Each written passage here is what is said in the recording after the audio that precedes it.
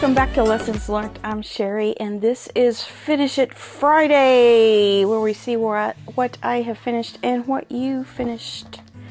And I've been, I won't say spinning my wheels, but I've been kind of stuck on a couple things this week, but I have been working pretty hard at stuff. Um, since you're probably wondering about this, we'll go ahead and talk about this. Now, this is my haberdashery slash Millie's Dresses fusion quilt. And I am in the process of, well, by the way, as you already know, I got all my hats done. This week I got all my dresses done. I made 12 instead of 16 this is what the pattern is. It is of 16. I'm only choosing to do 12 since I have 12 hats. And here are my dresses. I love this one. Isn't that pretty? Let's just look at them. They're so pretty. We should look at them. There's a red, kind of corally red one. I like this one too. I like that print really well. It came in green, this color. It came in a yellow. Yeah, that was yellow. Green, yellow, and then there's a light one. Do I have a light one? This one. Yeah, those three prints I really liked. Here's another teal one. And I strategically placed the flower there on the belt or the waistband. And then here's a peach and navy one. So as I made these, I got a little more fond of them once the sleeves were the worst because you have three stitch and flips on them and they're all different sizes. You know, you have to think when you're doing it. It's not mindless, you have to think. So as I went along though, the the structure putting them together was not as bad after the first couple. So I was able to iron out my difficulties with that.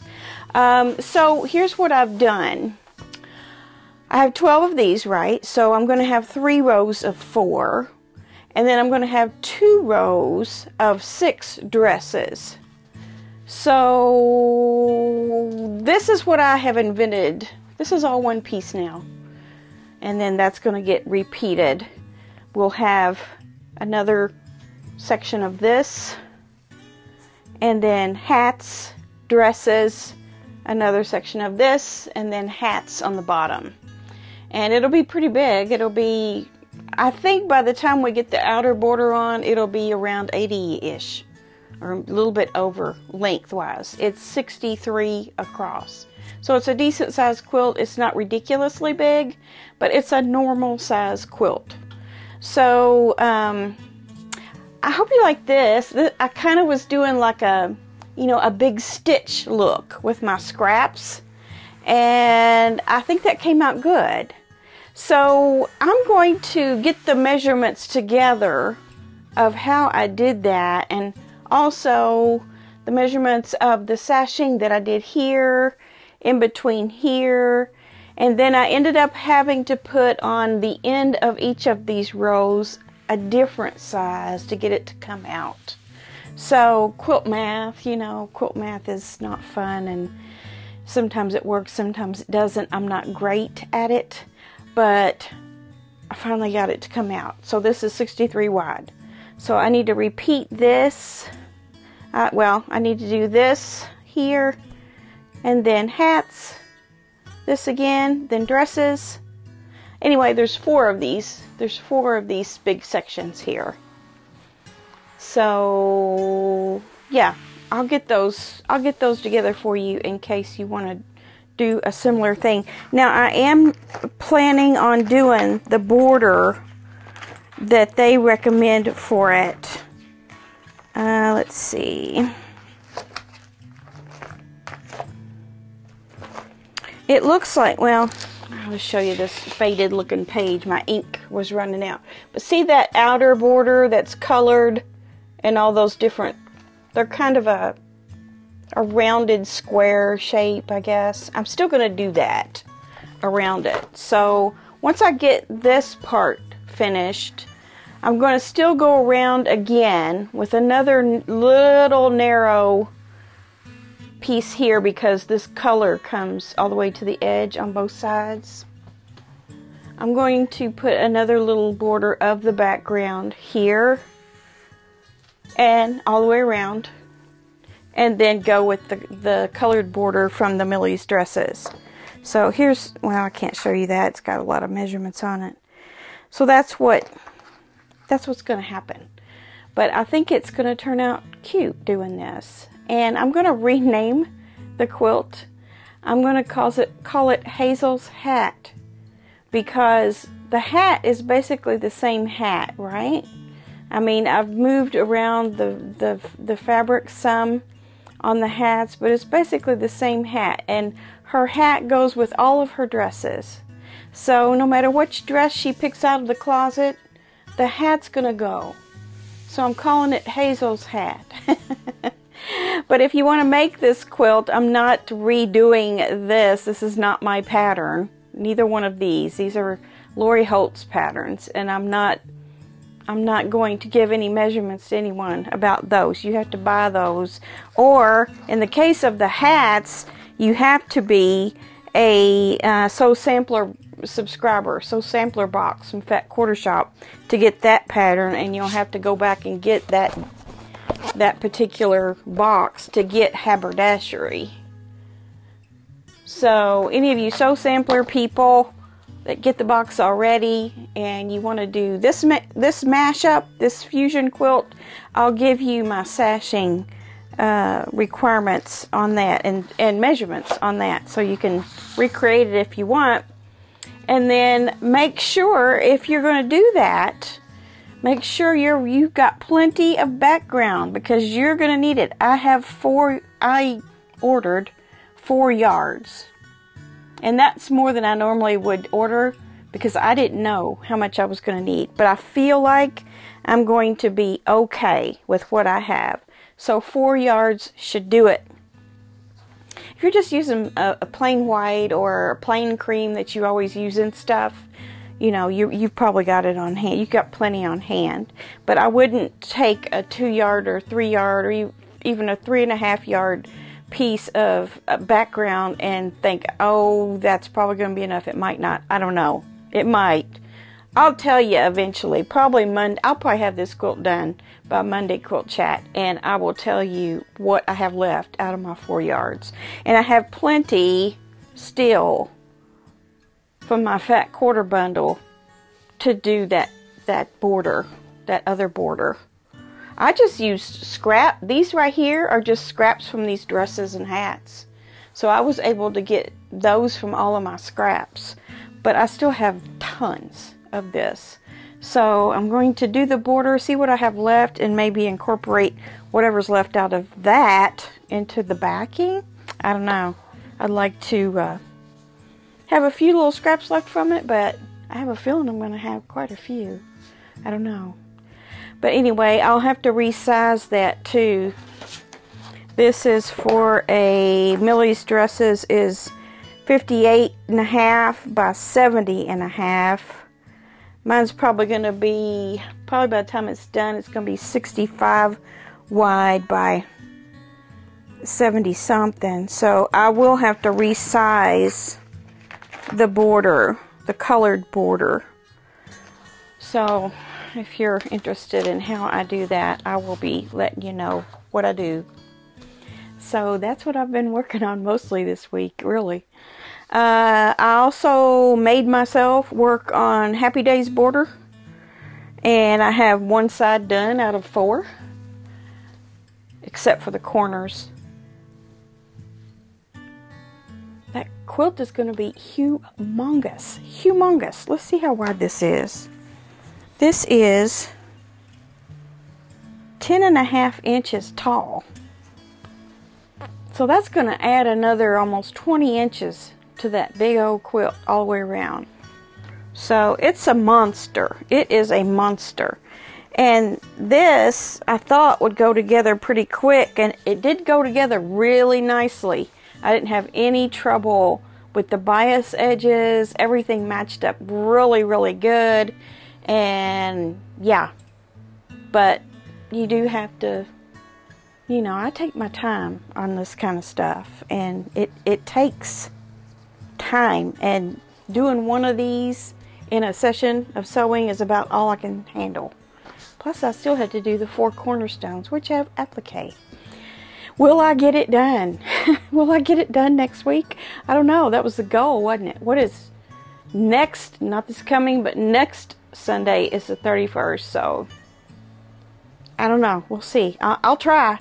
I'll be close if I don't get it done. So, what else have I worked on? Oh, yes, Wednesday's video. If you didn't see Wednesday's video, I have started a charity project uh, with the Humane Society, and you need to go back and watch that. And you can send in your blocks like this to be included in the quilt that will be auctioned. And then once we get proceeds from that auction, we will donate those funds to the Humane Society. I'll give you more and more um, information on that as we go.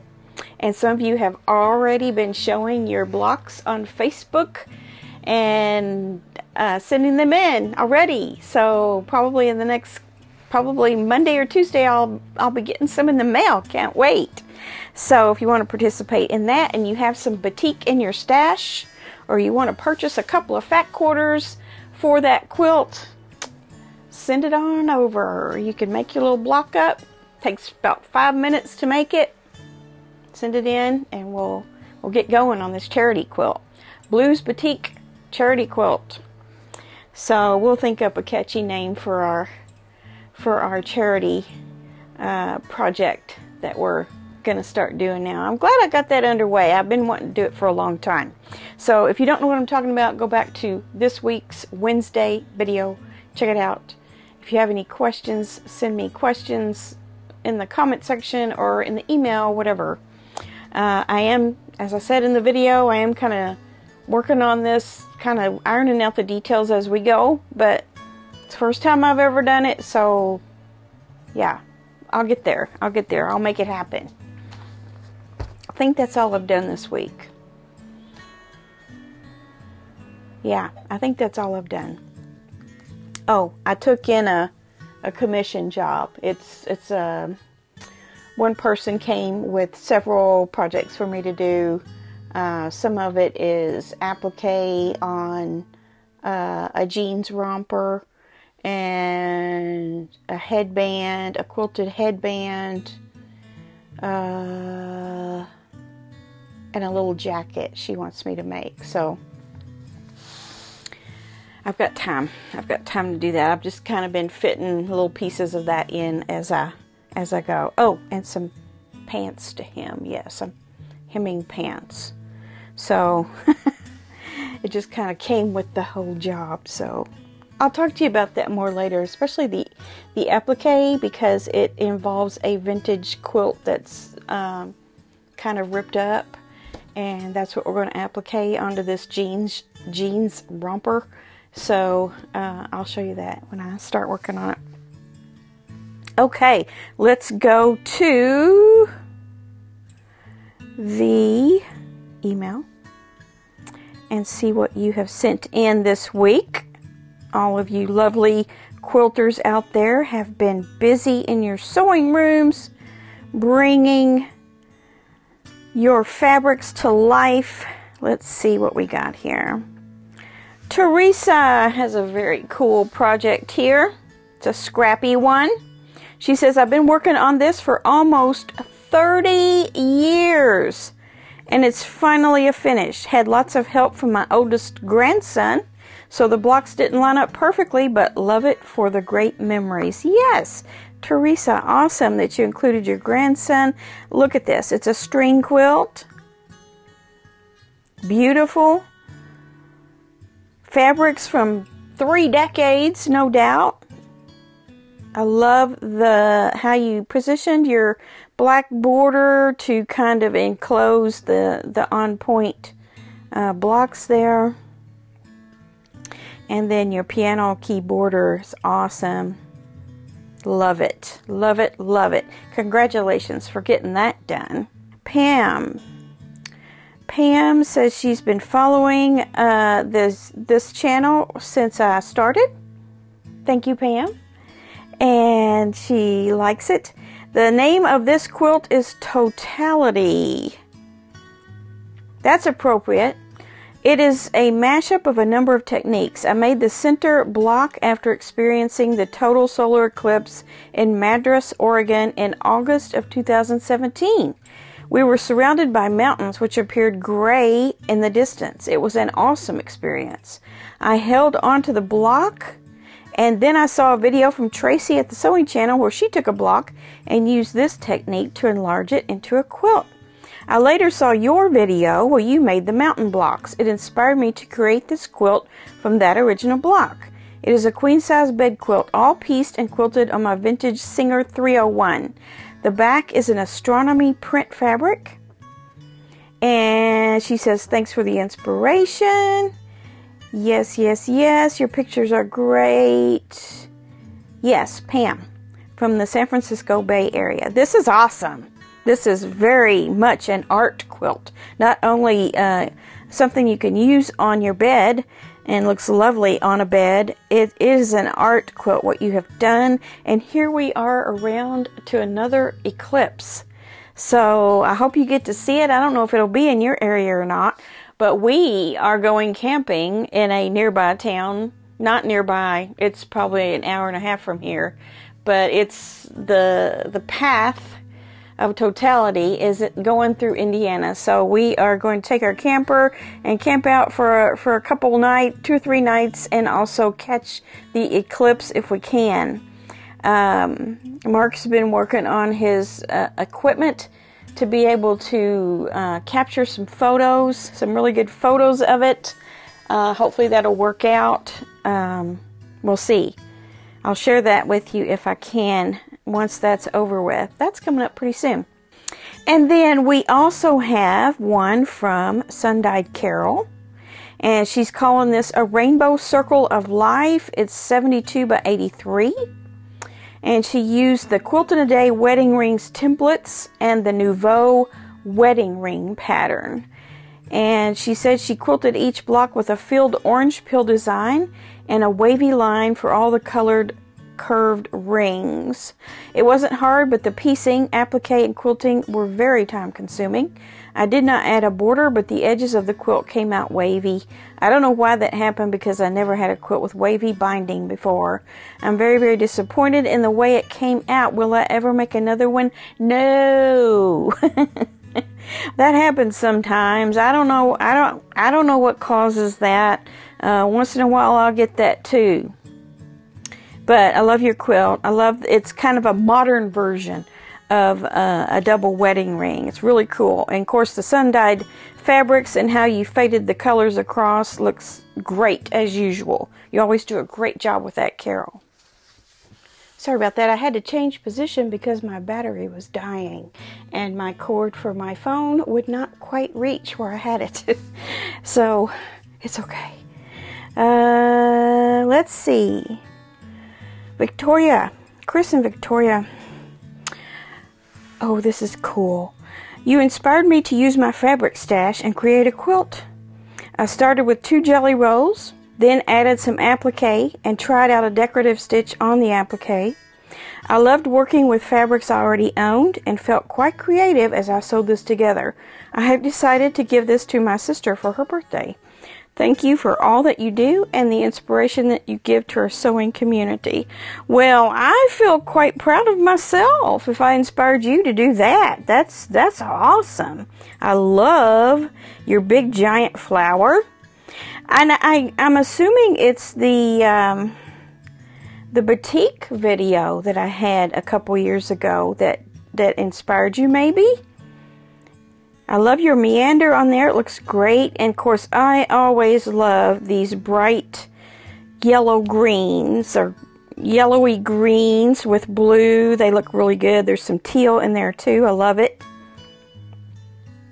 I love your big borders around there too. This is really cool. You should be proud of yourself too because That's an awesome piece of art. It really is. We've just got some really artistic, creative people this week. As usual, all of you are. And then let's see what else. Uh, I think that might be it. It looks like it might be. If I've if I've missed you, send me a note or something. Let me know but I think that's all I. I knew I didn't have as many as I normally do um, this week, but boy, did we have some great ones. So thank you for sending everything in. Uh, we truly enjoy these uh, little quilt parades, uh, quilt shows that we have every week on Friday. If you ever want to send in one of your photos, uh, just check out the guidelines in the description box and be sure to follow those. Uh, send me a couple of good photos of it and a short description of, of what it was. Um, you know, if you have any little story about it or whatever, uh, we always like to hear that too, the details of it. So, uh, well, it's uh, another week gone. I don't know where it went to. It it seems like every week lately has just flown by. I don't know what it is. But uh, here we are up on the weekend again. I have a class this week and on Saturday, all day class at the uh, local quilt store. And it's going to be a foundation paper piecing class by uh, a Moda designer, a Moda fabric designer. So um, I'm going to be doing that. I'll let you know about that on Monday. So come back on Monday. But in the meantime, have a great weekend. Get something out to sew get your UFOs out, or if you've got some things going on, spend a little bit of time on them if you can. And a little bit of time here and there goes a long way. And before you know it, you've got finished quilts to show on the Friday show. So thank you for tuning in and be sure and subscribe if you haven't. If you see the word subscribe anywhere on your screen right now, please touch it and also the black bell and you'll never miss an episode. I have episodes uh, of, of varying subject matter Mondays, Wednesdays, and Fridays of every week. So thank you again and I wish you well. Have a great one. We'll see you soon. Bye. Oh.